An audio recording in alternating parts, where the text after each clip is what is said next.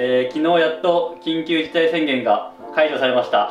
でまあでも緊急事態宣言が解除されたとは言ってもコロナはまだ続いていくと思うし、まあ、これからは、えっと、コロナと共に多分、まあ、生きていかなきゃいけないんだろうなとは思うので海には入れるんですけどルールをまあちゃんと守って入るようにしないとまた結局人が増えてまた海はダメってなってしまったりとかまた緊急事態宣言が発令されちゃっても、まあ、自分たちもサーフィンできないのも辛いので、まあ、みんなでルールをしっかり守って、えー、サーフィンやっていきましょう。日本はそんなにガチッとしたルールは決まってないとは思うんですけど、まあ、これは個々に調べてあの考えて行動してもらわなきゃいけないと思うしその土地で多分いろんな地元の人たちでルールがあると思うんでそれに従ってやっていかなきゃいけないと思うんですね。なんでまあ例えば湘南茅ヶ崎で言ったら、まあ、本当海の中でも混雑は避けるだったりとか海の中でもちょっと距離を空けるだったりとかあとはまあサーフィン1時間ぐらい自分がして例えば新しい人が入ってきたとしたらそこはもう自分は1時間やったからじゃあ新しい人たちと交代しようって言ってちゃんと交代制にしてあの、まあ、これはもう自分たちの意識次第なんですけど人の気持ちもちゃんと考えて自分が今いくらどんぐらい海にいるかな混んできたから上がろうかなっていうのを考えて行動していきましょう。しっかりサーフィンをこれから続けていけるように。こうどんどんどんどんいろんなことが更新されてって海のルールとかもいろんなことが更新されていくと思うので個人でそうサーフィンしてる人たちはこれを機に、まあ、近くのサーフショップだったりとか、まあ、いつも海行ってる海の近くのサーフショップとかにこうもっと近づいていってもらってでサーフショップとかだとやっぱりその土地のルールとかを常にこう更新してるのを茅ヶ崎支部だったら茅ヶ崎支部からいろんなところに流れてると思うんですねショップに。なんでそういう新しいこう情報っていうのはサーフショップには絶対に入っていってるのでまあこれを機にみんなサーフショップに入ってない人たちはサーフショップのクラブになったりとかサーフショップに入っていって仲良くなったりとかすることによってそこの土地のルールだったりとかを細かく教えてくれると思うので海のルールだったり全部そうなんですけどそういうとこで、え、ちょっとずつサーフショップとかに足を踏み入れて、ま、みんなでルールを守って楽しくサーフィンがこれからも長くできるように環境づくりを一人一人がしていきましょう。でそこからどんどん楽しくサーフィンを続けていけることによってあのみんなのストレスも減るだろうしルールを守ってやっていきたいと思います。自分も。なのでみんなで頑張っていきましょう。ということで今日初めてサーフィンしてきました。なんどんぐらいかな？2か月ぶりぐらい。丸2か月ぐらいかな。丸2か月ぐらいか、うん、そうだね。丸2か月ぐらいか。4月の頭？そうだね、うん、丸2か月ぐらいもう丸々サーフィンしてなくて海にも行ってなかったんでちょっと、まあ、地形だったりとか状況だったりとか分かんなかったんですけど一つ言えることはめっちゃ気持ちよかったね。もう今までずっとステイホームしてたから一気に気持ちが晴れたというかこうさっぱりした。めちゃくちゃ。気持ちよかったです。なんでこの気持ちがまたこう緊急事態とかでなくなるのは嫌だから、まあ、みんなでルール守ってってちょっとずつサーフィンしていきましょう。ではそんな感じでお願いしますで2ヶ月ぶりにサーフィンしたからこんなサーフィンしなかったことって多分なくて今までで。で俺サーフィンできるかなって超心配してたんだよね。で今日とりあえずサーフィンしてみたけど、まあ、できてるかできてないかって、まあ、確認してないし海は気持ちよかったんだけどできてるかどうかマジで分かんないけど、まあ、とりあえずこの動画見て2ヶ月ぶりのサーフィンやってみたっていう感じで動画アップするんで、まあ、これからちょっと動画見てください。じゃあ動画どうぞ。